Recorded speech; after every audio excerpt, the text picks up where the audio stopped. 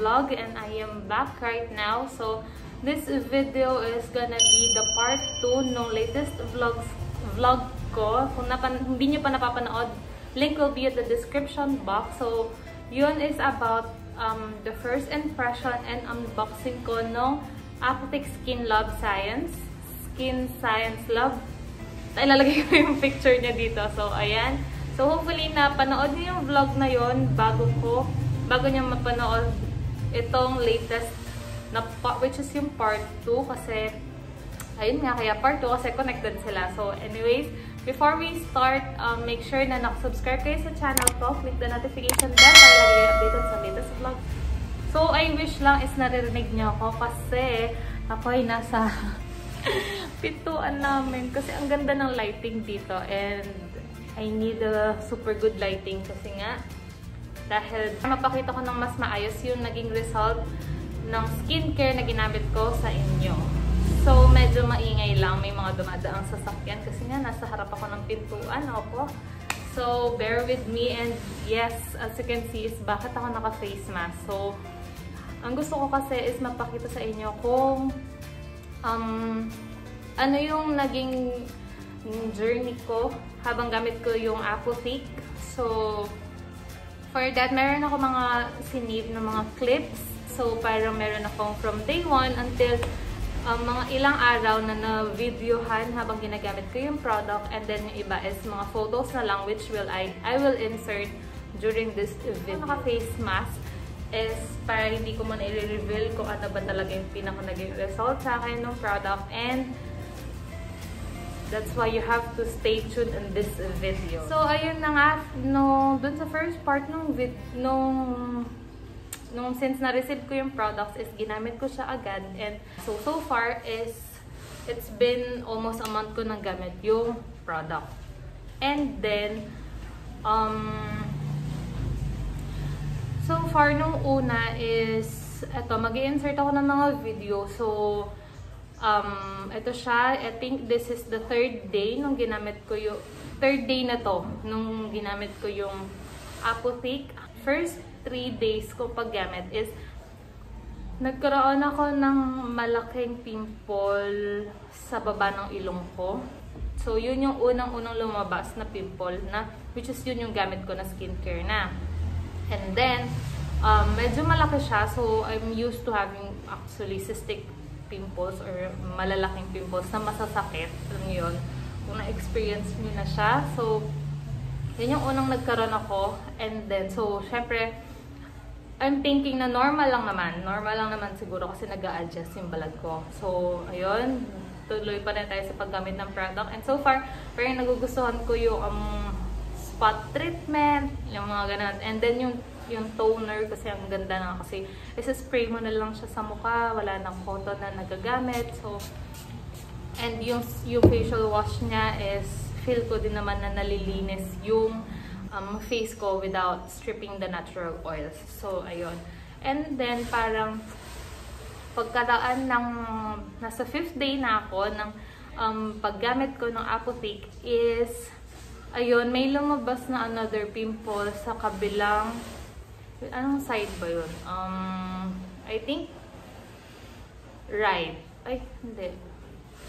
Sa isang, basta may lumabas na pimple sa isang side ng cheeks ko, which is, before ko siya gamitin, is, uh, actually, kung makikita nyo dun sa part 1, ah, I'll insert a photo here na medyo ma-clear ma na. Kumbaga, nag-clear na yung part na yon And, ang target ko sana is yung redness na lang yung mawala. So, Ayun, may mga lumabas na pimples ako. Noong una, syempre maliliit lang. So, well, I'm just thinking pa din na normal pa din kasi nga um, nag-a-adjust yung balat ko. So, ayun, tuloy-tuloy pa din ako ng paggamit. And then, first week, after 7 days ng paggamit ko is, ayun na. Doon ako nag-start na medyo parang natakot na ako. Kasi that's the time na parang undecided ako kung itutuloy ko pa ba yung product or hindi na. So, ang ginawa ko is, um, tinuloy ko pa rin, pero aside from that, is nag-search ako. Nag-search ako kung I'm having um, breakout ba or purging. So, I'm not an expert, so sinerch ko lang po yung mga sasabihin ko ngayon. So, ayun, yung skin purging kasi is yung natural reaction ng balat ng skin natin na kapag may mga bagong um, products na tinatry sa skin, so nag adjust which is yun yung una kong iniisip, ba? And it could last for 2 to 3 weeks yung skin purging. So, maglalabasan yung mga alam niyo yun, sabi nila is yung mga dirt na nasa loob pa na kumbaga is nagre-react dun sa product na nilalagay mo. So, kailangan nilang lumabas talaga.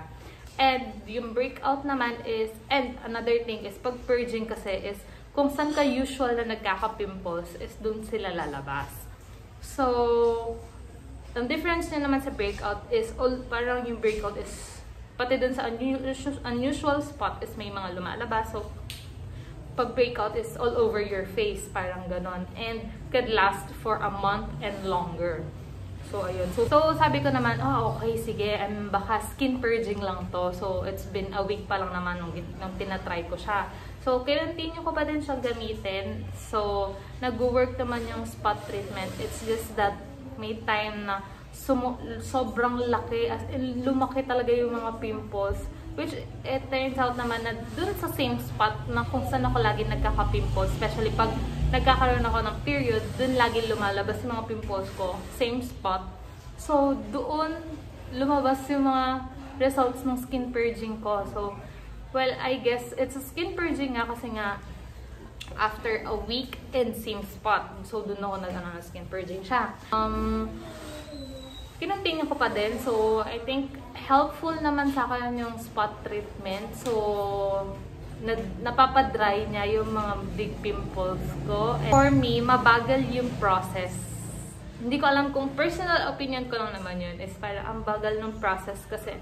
Or it might be the reaction ng balat ko dun sa product. Mabagal yung progress niya. So, parang hanggang sa second week. So, ito yung naging condition ng balat ko nung second week ng pag-try ko.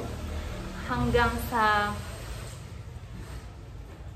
Um, medyo na-worry na ako bakit ang tagal, ang tagal mag-heal, parang ang tagal no, nung hinahanap kong result, which is nung in the first place, parang more on nung before ko siya gamitin, is yung redness lang naman talaga na yung parang gusto ko and parang gusto ko mag-try ng something na I could use every day. So, ayun. Pero regardless, tinuloy ko pa din yung product until my third week is at ganito yung naging result pa din. So, medyo gradual. And, um, until the third week, medyo ganun pa din yung result. Parang wala masyadong difference and meron pa din naglumalabas na maliliit hanggang sa ilang araw, lalaki sila, ganon. So, I'm thinking na na parang hindi ganon ka-effective yung product para sa akin. Pero, ayun nga, just hindi ako naman agad sumuko and keep on trying and using the products pa din. So, after a month nga is I've decided na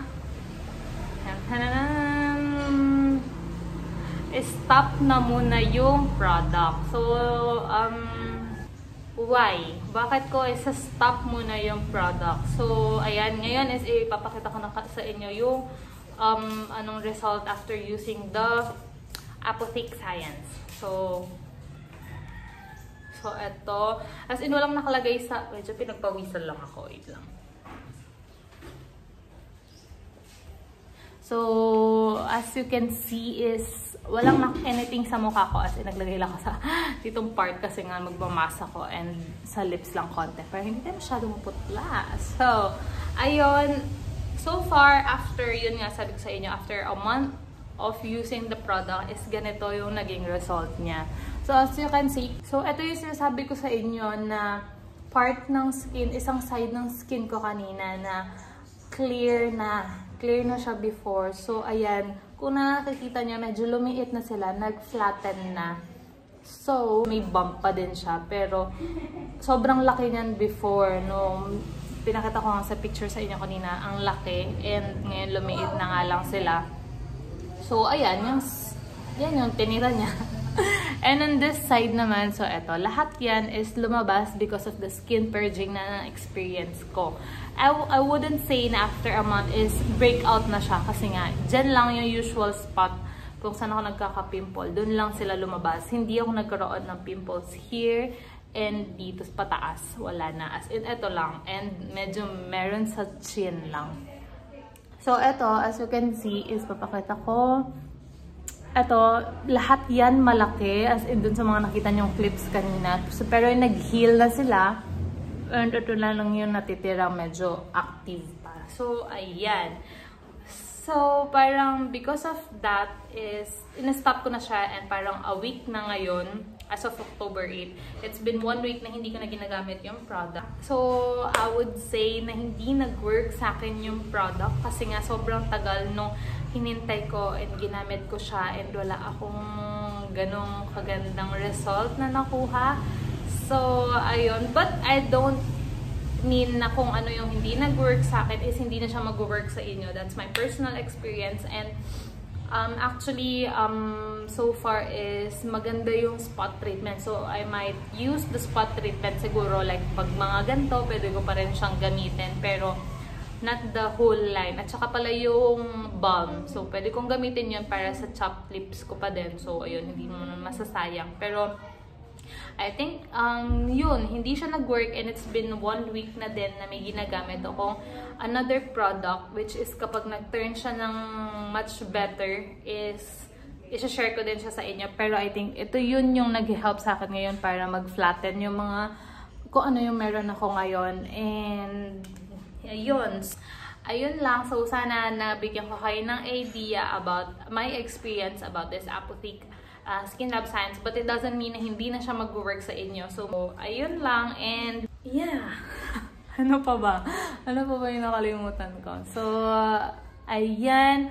I'm still not giving up on finding my anong sabi nila, holy grails. So, I'm still in search for my holy grails. Sana makita ko na sila. So, ayun lang. And aside from the skincare, keep on drinking water. So, yun yung ginagawa ko din isa pa. And, well, pag naisipan, medyo nag-workout. Pero hindi siya consistent. So, so, I think that's it for this vlog. Sana naging helpful itong vlog ko na to in any other in any ways man so ayun you can still um try the apotheke science um it may You can also check other reviews. Baka naman mas maging naging effective sa kanila and maging effective din sa inyo. So, I will just put the link kung saan nyo siya mabibili. So, I think that's it for this vlog. Don't forget to subscribe to my channel. Click the notification bell para laging updated sa latest vlogs ko. So, I'll see you in my next vlog. Bye!